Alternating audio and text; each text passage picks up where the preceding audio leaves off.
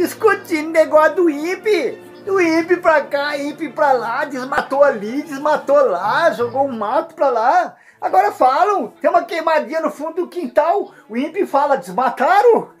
Sei lá. E apareceu o presidente do INPE, um homem lá novão igual eu, e disse assim, o Bolsonaro é piada. Sei lá, meio estranho esse negócio de INPE.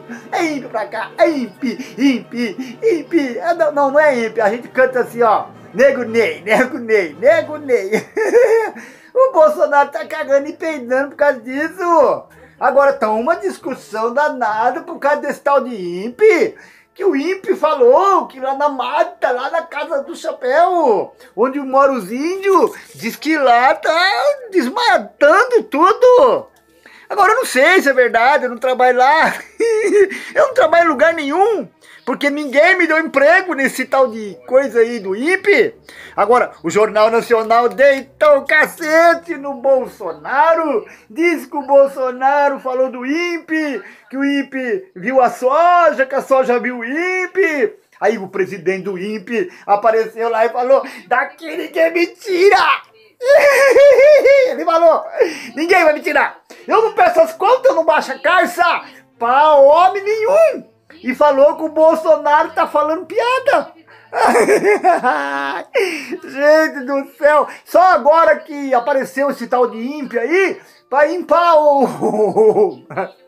ah, sei lá, tanta coisa pra fazer, esses caras ficam aí falando de INPE, de Ancine, de não sei o quê. Gente, vamos cuidar do Brasil, que o Brasil tá feio, o povo tá passando fome, o povo tá passando necessidade. Eu mesmo tô desempregado, pô! Faz 40 anos que eu não trabalho empregado pra ninguém! E eu tô precisando de emprego! Agora, quero ver se o tal de INPE me dá um emprego. Mas não dá mesmo! Eles podiam dar um emprego pra mim e no meio do mato ver se os tatu tão vivos! Porque é isso que eles fazem! Todo cientista, todo cara que sabe que 4 mais 4 é 9 e 9 mais 9 é 36! Aí eu não sei, eu moro, eu moro no Brasil, e sabe onde eu moro? Onde não mora ninguém, onde não mora ninguém, é lá que eu moro. eu tô me lixando pra esse tal de IPE, e o Bolsonaro também não tá nem aí com o IPE. É capaz do Bolsonaro ainda mandar esse cara embora. E se ele quiser trabalhar comigo, empurrar carro, vai ser bem-vindo.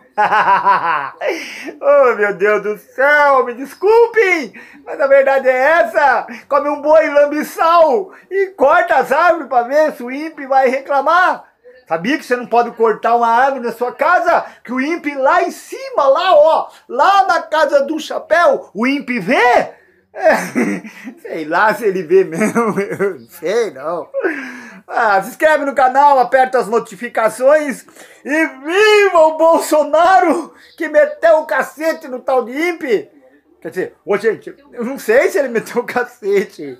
Ele devia ter tacado um martelo, um machado, essas coisas aí. Eu quero que o INPE se impa! Eita ferro!